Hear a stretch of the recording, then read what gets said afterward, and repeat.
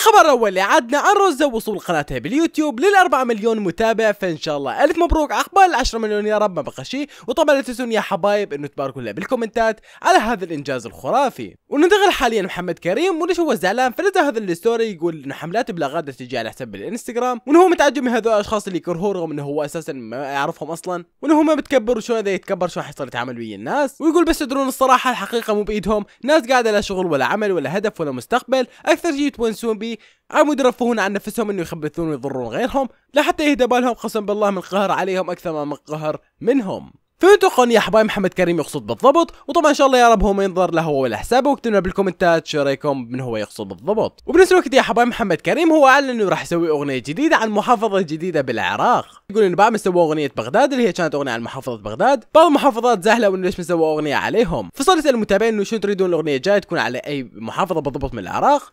فاكتبوا لنا شو تتوقعون؟ فروح حاليا نارين بيوتي وهل هي متزوجة وعندها أولاد؟ فشروا يا حبايب نزل على حسابها بالإنستغرام. هذا ال story كان يقول بيه إنه هذول شكل نارين وأولادها بس يجوا لعنا بالبيت. هذا خلى المتابعين صاروا يسألون هل نارين بيوتي متزوجة عندها أولاد؟ فهو رد يا حبايب عن طريق هذا ال story يقول يا جماعة جماعة قصدي مستقبلا. فاكتبوا لنا الكومنتات رايكم بهذا الخبر. وننتقل حاليا انس واصاله والتجمع اللي سووه بمصر. فنزلوا شوية ستوريات كانوا مسوين تجمع بمصر. لأنه حاليا مصر يا حبايب وصراحة تجمع واضح كلش خرافي وبه عدد من الناس. أكيد قاعد يصورون فلوجات هناك يا حبايب. الله يوفقهم يا رب وإن شاء الله يزيدهم أكثر. واكتبوا لنا بالكومنتات كم متحمسين للفلوجات مال مصر. هي المفاجآت ال YouTuber واللي هي قمر الطاي يا حبايب وتنزل لنا شوية ستوريات قاعد تعلم من خلالها إنه أنت تصور لنا هواي فيديوهات. يمكن تصور لنا فيديو مال ايمو يا حبايب مثل ما قالت وتقول لنا حينزل يوم الأحد وبهذا المقطع راح ينزل لنا مفاجأة وصدمة. كلش خرافي شوف ال story خاصة بصور فيديو اليوتيوب. الفيديو كان يجنن.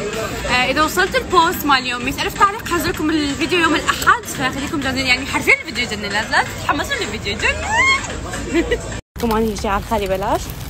فخليكم جاهزين يوم الأحد رح ينزل على الساعة 5 شكرا للاستعداد طويلي وبس بدي أفكر هم اصور لكم فيديو. آه، أكو فيديو فكره فكرة مالته وحدي. هي كلش حلوة بس ما ادري أصورها بلكي باكر اصور لكم إياها إذا فرغت وخليكم جاهزين والله دا احضر لكم شغلات هالأسبوع جنن يعني ما تصدقون والله كلش هواي شغلات ببالي. إن شاء الله يضبط كل شيء. ويس! راح شي ما اعرف إذا حتحبوه لو لا بس هو شي أنا أشوفه كلش حلو كلش متحمسة له. أه ما راح أقدر اعلن لكم عنه هسه يعني هو أقدر بس أنا ما أريد. أه احتمال راح اعلن لكم عنه بفيديو اليوتيوب راح ينزل يوم الاحد ف